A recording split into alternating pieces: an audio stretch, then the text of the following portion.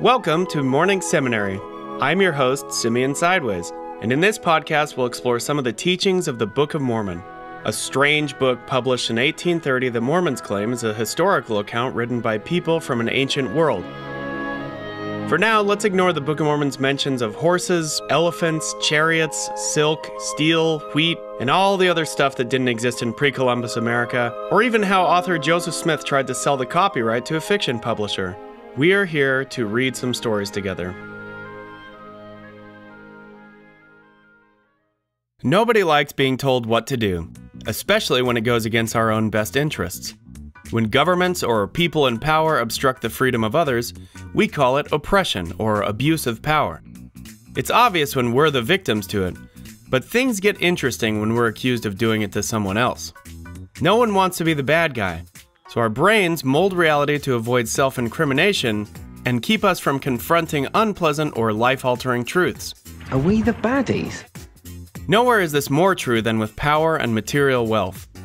As staples of security and peace of mind, acts that disrupt someone's cash flow or question their authority, even when it's for a good cause like preventing starvation and disease, are attacked, dismissed outright, or even viewed as acts of oppression themselves.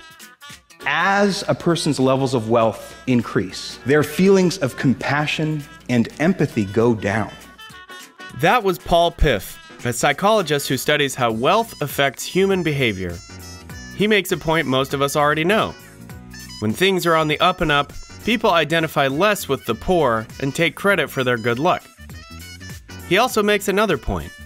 The wealthier you are, the more likely you are to pursue a vision of personal success to the detriment of others around you.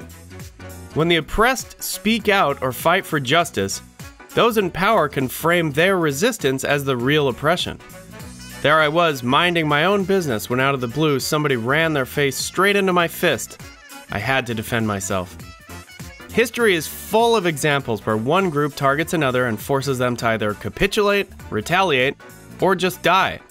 The genocide of indigenous peoples in America, the Haitian slave revolt, Internet Explorer, the list goes on. Rather than feel remorse for their crimes against humanity, the victorious oppressors take heart that their righteous ideals led to the triumph of good over evil, man over beast, freedom over bondage. And the losers? Immortalized as perfect obstacles to lasting peace, whose savagery could only be conquered by the might and courage of the righteous. We will make no distinction between the terrorists who committed these acts and those who harbor them. In this episode of Morning Seminary, we're talking about the Kingmen, a group of rebels who were unhappy with the ruling government and decided to revolt. Their timeline is short and their loss bloody, but their impact remains today on Mormons who see any system of government other than red, white, and blue as wicked and tyrannical. We must not tolerate accommodation with or appeasement toward the false system of communism. We're back in Zarahemla, that big, righteous Nephite city, and people are thriving. At least the believers are thriving. And thus they did prosper and become far more wealthy than those who did not belong to their church. Right off the bat, Alma brags about Zarahemla's wealth gap to show how God favors the believers and ignores everyone else. Some of you may die, but it's a sacrifice I am willing to make. The have nots, fed up with this prosperity doctrine, decide to rise up in revolt, led by a guy named Amaleki. His supporters band together as Amalekites and hold rallies to make Amaleki king. The Book of Mormon never really tells us their rationale. I mean, it makes sense to me. They felt unrepresented by a government they presumably paid taxes to.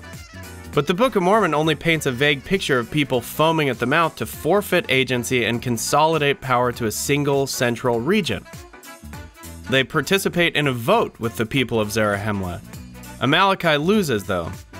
So, having tried and failed to improve life through democracy, the dejected Amalekites resort to violence. This is the maddest I've ever been! Which turns out to be a huge mistake. The Amalekites are beaten back and run away, but the Nephites, ever a peace loving people, decide to wipe them out completely.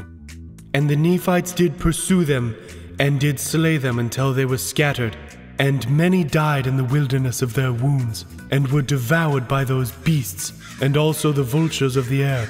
And their bones have been found and have been heaped up on the earth. Tens of thousands slain as they retreated, says Alma. No mercy. They are wiped off the map. Then, a couple chapters later, another huge band of Amalekites appears. Somehow Palpatine returned.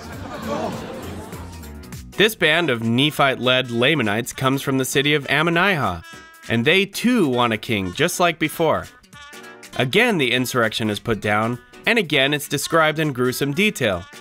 Yea, every living soul of the Ammonihahites was destroyed, and the carcasses were mangled by dogs and wild beasts. And so great was the scent thereof, that the people did not go into the land for many years, and it was called desolation. Not long after, the Lamanites that Ammon from episode 3 couldn't convert are riled up again by the Amalekites, going off to fight the Nephites for a third time. We've been here before. We're going in circles. Throughout the Book of Mormon, the Lamanites are mostly throwaway characters, a brainless horde of bloodthirsty savages who don't ever think for themselves. They don't choose to fight so much as are chosen. What is it? What do you smell? Man flesh. Despite having a massive army, this Amalekite insurrection is also put down. And again, the Amalekites rile up the Lamanites, proving that it's not how many times you get knocked down, but how shamelessly you can tell the exact same story verbatim. But it might work for us. The Amalekites are slaughtered, of course. Now the number of their dead was not numbered because of the greatness of the number. Innumerable bodies and unbearable stench, all about 150 years before the eruption of Mount Vesuvius, according to the timeline. No, there's no evidence of these wars. Yet. A fifth fing Amalekite appears named Amalickiah. Joseph Smith got real creative here. And can you guess what Amalickiah wants? That's right, lasting peace. Just kidding, he wants to be king, so he schemes his way into the Lamanite throne by killing their king and marrying the queen. Didn't know we had a king. I thought we were an autonomous collective. You're fooling yourself. We're living in a dictatorship. Our story begins here at disgruntled Nephite upstart number 5. By the way, it's been just 20 years since the first insurrection we covered. 20 years! During which time the Lamanites fall for five identical Nephite schemes that cost them countless soldiers. Why can't the Lamanites govern themselves? Will they ever learn to fight a battle and win? Will Nephite foreign policy ever stop the Lamanites from attacking them? Like the others, Amalickiah tries and fails to besiege a city in Zarahemla. Unlike the others, however, he survives and swears to drink the blood of the general who bested him. But this is no ordinary general. No, this is the greatest military mind in the Book of Mormon. It's Captain Moroni.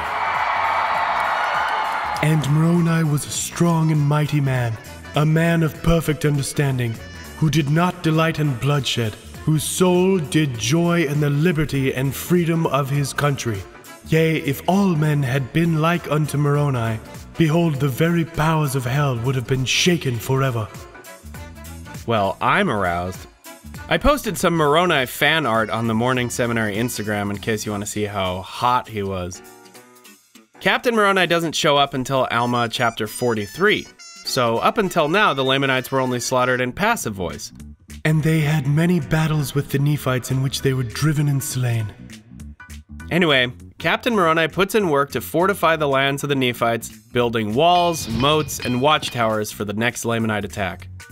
And along with the added protection, all this expansion earns the Nephites more wealth. And they became exceedingly rich, and did multiply and wax strong in the land. We have the fastest growing economy in the world. The world. For about three years, the sprawling Nephites are happier than ever. They have a democratic republic, aka court of judges led by a guy named Pahoran. A government starkly different from contemporary Mayan civilizations who believed their rulers were omnipotent gods. This is where things start going wrong. Some Nephites from the city of Morianton, led by a guy named Morianton, decide they want to go up to the land called Desolation. Yes, that desolation, the place no one wants because it reeks of death. For some reason, Moroni intervenes to stop their migration and send them back home. They're not happy about it. Part of the people desired that the law should be altered, but behold, Pahoran would not suffer the law to be altered. He did not hearken to their petitions. Come here. No, closer. I don't make deals with peasants! This part of the people mentioned here is the Kingmen, a frustrated group who, after seeking remedy through democracy and being told no, rally to replace Pahoran with a king. There's a vote in Zarahemla, and the Kingmen lose. But unlike the Amalekites earlier, the Kingmen don't incite violence. And they durst not oppose, but were obliged to maintain the cause of freedom. Obliged to maintain freedom. Got it. Unfortunately, the timing is terrible. Amalickiah, the guy who wants to drink Moroni's blood, has riled up the Lamanites again and is now marching on Zarahemla, uprising number six if you're still counting. Moroni badly needs soldiers, but the disgruntled kingmen aren't all that eager to fight for the government that just ignored them. This pisses Moroni off, so he tells Pahoran it's time to do some killing. And it came to pass that Moroni sent a petition desiring to compel those dissenters to defend their country or put them to death. With the Amalekites at his doorstep, Moroni opts not to march his armies against them, but against the kingmen, 4,000 of whom he kills before the rest beg for mercy and suit up for war. Please don't kill me, man. I'll give you anything. I give you all the money I got. I give you everything. I... With the kingmen neutralized and not at all a ticking time bomb, Moroni turns his attention back to the Amalekites. Because they are light skinned Nephites, the Amalekites mark their foreheads red to distinguish themselves from Moroni's army. This is something the Lamanites don't have to do because God cursed them with dark skin. I just had to throw that out there in case any Mormons say Lamanites weren't necessarily dark skinned. They will, by the way. Amalickiah's army takes the rural cities of Zarahemla, but before they can do any more damage, one of Moroni's lieutenants slips into the Amalekite camp and puts a javelin through Amalickiah's heart. Moroni then takes prisoners and puts them to work reinforcing Nephite defenses. Ammoron, the late Amalickiah's brother, takes command of the Lamanite army. Having a few Nephite prisoners to exchange for his own, he sends Moroni a request to do so. But he's also got some other stuff to say. Arr, your fathers did rob their brethren of their right to the government which belonged unto them.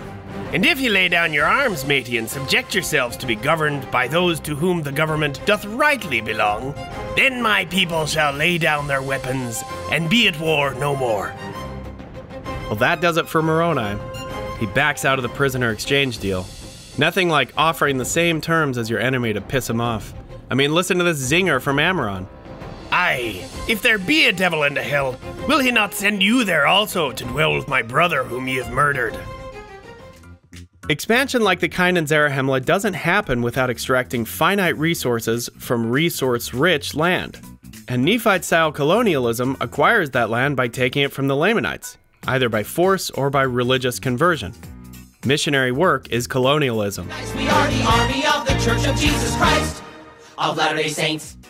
The government policies of Pahoran excuse as natural law the fact that the Nephites' wealth correlates with the Lamanites' poverty, which is why Moroni never stops to ask why they feel cheated.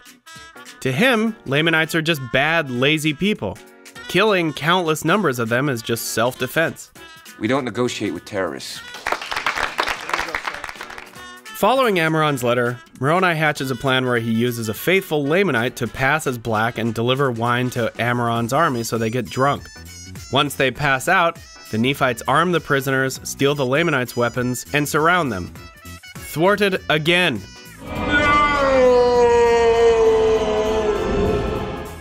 With their army whole again, the Nephites start taking their cities back at breakneck speed. Everything is going incredibly well. Heck, they might make it out of this in one piece. But then disaster strikes. Supplies from the city of Zarahemla are grinding to a halt.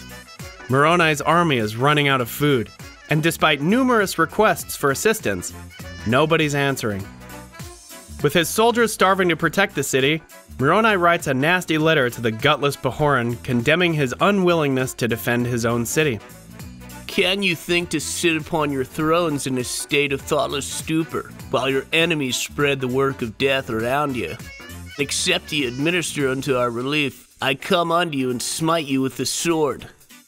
Once again, Moroni, a man who does not delight in the shedding of blood, issues a death threat when things don't go his way. No diplomacy, no voting, just death.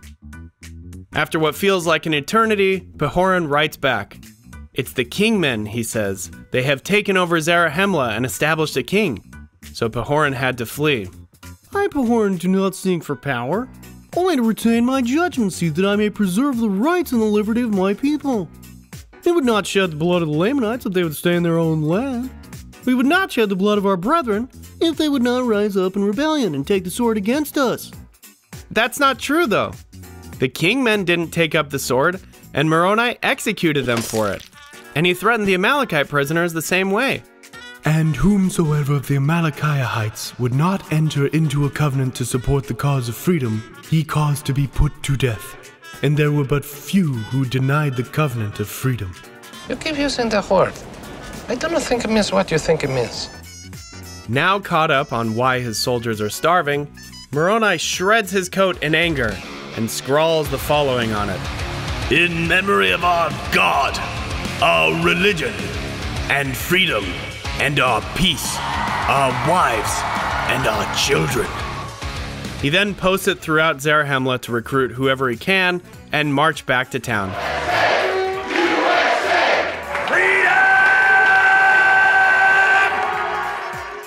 The freedom loving patriots march into Zarahemla and track down the would be king and his followers. There's a skirmish, and Moroni kills the democracy extinguisher. Freedom wins. Everything goes back to normal. Phew. Crisis averted, huh? Could have been a real bloodbath if the authoritarians had their way. People getting murdered for speaking out or refusing to fight for a government they don't sup- Wait. For a man who doesn't delight in the shedding of blood, Moroni sure kills a lot of defenseless people.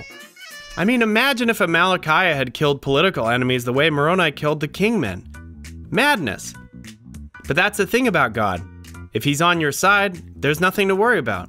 Whatever God requires is right, said the prophet Joseph Smith. One word for this thinking is jingoism, an idea inspired by a British war lyric that reads We don't want to fight, but by jingo, if we do, we've got the ships, we've got the men, and got the money too. No matter how bloodthirsty our actions may be, the motivations of God fearing people are never as bad as the bad guys' motivations. They're bad. They do bad things, whereas the good guys are good, so whatever they do is good, even if it's worse than what bad people do. Jingoism sets the table for oppression by spreading fear about conflicts down the road. If we're not in control, it's only a matter of time before we're under someone else's control. Better to carry the big stick than be struck by it. In 1839, John O'Sullivan wrote about the United States' divine destiny to spread values like equality, rights of conscience, and personal enfranchisement in an effort to, quote, establish on earth the moral dignity and salvation of man. Manifest Destiny, America First, God Bless the USA, Fortune Favors the Brave, The Title of Liberty. They're all slogans that excuse the collateral damage of empire by applauding the spirit in which it's done. It's not the critic who counts, said Teddy Roosevelt, but he who strives to do the deeds. Mormons see welfare as a tyranny thing because it takes away your agency. For this episode, I got to speak with Nick from Unsettling Mormonism, one of my very favorite Instagram pages, about how stories like Captain Moroni parallel the dull hum of militancy that permeates church culture. They want to call me a terrorist, they can call me a terrorist. But I'll tell you one thing I'm American. I hunt pedophiles. I've been hunting them for 20 years, and they are watching this and they're salivating. They are happy that Rolling Stones and The Guardian are ripping on a movie that exposes them. Agents arrested an Arizona man who was dressed like a character from the Book of Mormon during the Capitol insurrection on January 6th. Like Captain Moroni, the early Mormon church minced no words about their intention to raise an army and fight back against oppression. Mormonism, it is a religion, but it's a political body. The Book of Mormon is full of politics. Early Mormonism is full of politics. Like Captain Moroni, Joseph Smith raised a militia of thousands to protect against tyrannical governments, which to him was anything that didn't give the Mormons free reign over their lands and people. Meanwhile, Smith declared himself a king in a secret meeting called the Council of Fifty. So they're fighting this uh, literal historic idea of kings, and yet D&C 132, the entire goal of Mormonism is to become a god king. They're absolutely against kings and absolutely want to be kings, in the same way that they're absolutely against the US government and they want to be the US government. It wasn't until Brigham Young made it to Utah, far from the reaches of the federal government, that the church's militancy flourished. They wanted sovereignty, and they needed an army to get there. Brigham Young was using both the gathering of Israel concept and the polygamy concept to mass import a body of civilians in order to build his empire, in order to work toward overthrowing the United States. The immigration project was to build an army. Missionary work to indigenous peoples was to build an army. Just like in the Book of Mormon, this expansion into early Utah brought the Mormons the wealth they needed to grow as a population. And just like the Book of Mormon, it created trouble with the neighbors. They build a fort on that river. They start overfishing the Timpanogos' water sources, overgrazing on the grasses, turning these hunting grounds into farmlands. Timpanogos are upset. They're starving, their people are dying from these European diseases. So they start taking cattle. Mormons decide that the appropriate response is uh, murder. Brigham Young doesn't see coexistence as a functional long term strategy, so he orders Daniel Wells and 50 men from the Nauvoo Legion to, quote, quell and stay the operations of all hostile Indians, exterminating such as do not separate themselves from their hostile clans and sue for peace. It's not often you hear the words peace and exterminate in the same sentence, probably because genocide isn't peaceful for the people getting murdered. At least not with that attitude. Always look on the bright side of life. The extermination order starts by the militia surrounding a village of Timpanogos families at dawn, still asleep. Murder most of the people there. The survivors flee up canyon. Mormons chase them up canyon, find mostly women and children with their dead. Mormons either murder or kidnap and enslave the women and children. They decapitate at least 50 of the bodies to sell to craniologists. Talk about delight in the shedding of blood. This is the guy Mormons named BYU after. That's a bad guy. That is a redneck. Nick also told me about how J. Reuben Clark, Mormon apostle and undersecretary to U.S. President Calvin Coolidge, brought in the Monroe Doctrine to justify and reinforce the U.S.'s divine right to meddle in the affairs of South America. If you want to hear my full interview with Nick, subscribe to my Patreon. Definitely follow Unsettling Mormonism on Instagram. Anyway, while the war chapters of the Book of Mormon offer little by way of Mormon doctrine, they do crystallize its jingoism. Righteous intentions lead to righteous actions. Were they more interested in teaching people how to live righteously instead of how to think religiously, the church might invite young people to explore the ethics of war or ask why Moroni killed people who wouldn't fight for him. Instead, the church education system, CES, offers bland parallels between life and war that are a little abstract. The Nephites build fortifications, prosper, and preserve their liberties, reads one high school seminary manual section header, followed by this hypothetical. A young man was feeling tired but didn't want to go to bed, so he began to search the internet. He found himself tempted to visit sites that contained pornographic images. Visit sites that contained pornographic images? You mean watch porn? The manual asks how the young man's choices made him susceptible to temptation, and asks what we can do to protect ourselves from Satan's grasp. To reiterate, this guy's wrong choice was not going to bed when he was sleepy. Lessons like this illustrate the paranoia of spiritual warfare, a never ending source of stress only relieved by doing good Mormon things like prayer, scripture study, and temple attendance. Fighting the good fight is constant, and if we're not fighting in it, we better be preparing for it. No wonder being sleepy is dangerous. The assault on inner peace is constant. Life becomes less of an experience to enjoy and more of a challenge to endure and overcome. One where if you fail, you knowingly forfeit the unimaginable joy of a top tier afterlife. So you're saying I can be anything? oh, yeah, that sounds way better than what I was gonna do. It makes sense that the church focuses on Amalekites at the door and kingmen in the city walls. Better to keep him busy with made up threats from an all powerful cabal than weigh in on how actual tyrants cloak themselves in the language of democracy. Our troops fought block by block to help Iraq seize the chance for a better future. They never question how a Mayan civilization from 200 AD mirrors the exact government Joseph Smith grew up with in 1830. They never ask why a system of democratically elected representatives is God's chosen government, nor do they explore the possibility of new, better ways to govern. Any kind of addiction robs you of freedom. So, whether it was debt or drugs or communism or anything, he spoke against it because he felt that people needed to be free to be able to make their own choices. He felt that America was the Lord's base of operations and that it needed to be free. That was Sheri Dew talking about former church president Ezra Benson, a prophet known for his radical nationalism, ties to the John Birch Society, and short lived presidency bid alongside racial segregationist Strom Thurmond. Not enough troops in the army to force the southern people to break down segregation and admit the into our theaters, into our swimming pools, into our homes. Like Alma, Benson believed America was a choice nation given to white people by God. Like Alma, Benson saw non whites as inferior and incapable of self governance. And like Alma, he saw them as pawns in the devious schemes of corrupt white people like Amalickiah or Karl Marx. In a talk from October 1967, Benson said black people were, quote, merely the unfortunate group selected by professional community agitators to be the primary source of cannon fodder. Only whites think for themselves. My parents hung this guy's portrait in our house, dude.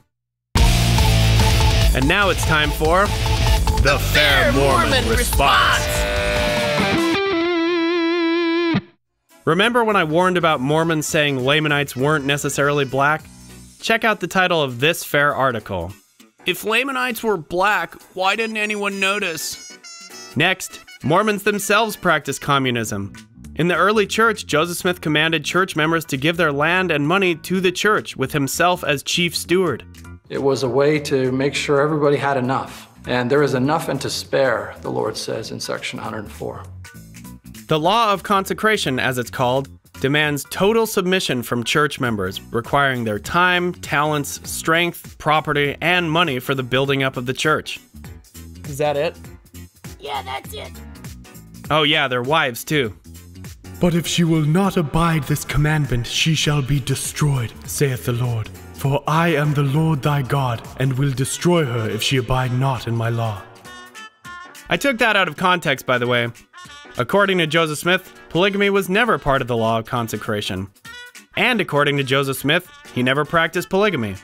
What a thing it is to be accused of having seven wives when I can only find one! Joseph Smith had at least 25 confirmed wives, by the way. The law of consecration differs from communism, the church says, because it was all voluntary. But was it really? Anyone who refused was threatened with excommunication, a loss of property, and the wrath of God. If that's voluntary, Consider me Miles Davis. it took less than a year for Mormons to do away with the communism thing, though they still teach the law of consecration in the temple today. Which, isn't that rich? A church so wealthy that it hides billions of dollars from its members still asks them to give back? Temples, by the way, are those huge white buildings you pass on the freeway. They're open only to the most upright Mormons, and only inside can you learn the secret handshakes and special passphrases needed to enter heaven. The original law of consecration was meant to create an equal society where there was, quote, no poor among them, them being church members.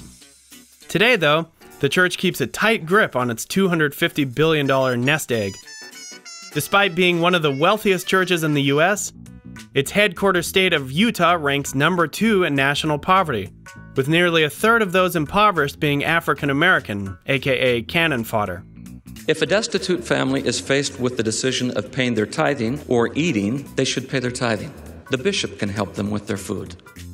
Meanwhile, Mormons claim to be oppressed not by economic conditions or segregationist laws, but by shows like Mormon No More, Under the Banner of Heaven, Murder Among the Mormons, and LuLaRich. Again, the church has $250 billion in reserves. In a time where inflation and wealth inequality are worse than before the Great Depression, $250 billion could go a long way in helping the poor. The church's private real estate portfolio, the largest in the country, might be able to help rehabilitate the Timpanogos peoples they genocided. I mean, it could be today, but I guess it's not our place to judge. As long as they don't just give the money away. That would be communist. So while the Lamanites are stuck with dark skin despite their darndest efforts to follow the white Nephites, wicked though they were, only the whites get a chance to govern with God's continual blessing and guidance. What a world. Well, that's it for this episode of Morning Seminary. Gotta say, I wasn't too sure I could make the war chapters interesting, but it turns out everything in the Book of Mormon is interesting if you look hard enough. That's not a compliment. What's really interesting is how this whole Tim Ballard thing panned out. If you don't know who he is, basically the Mormon church backed this guy's campaign to hunt pedophiles and make a movie about it. Except he turned out to be a fraud and a sexual predator. What's more fluid than gender? Age. The church tried to walk back their support, but doing that only made Ballard's supporters suspicious of the church.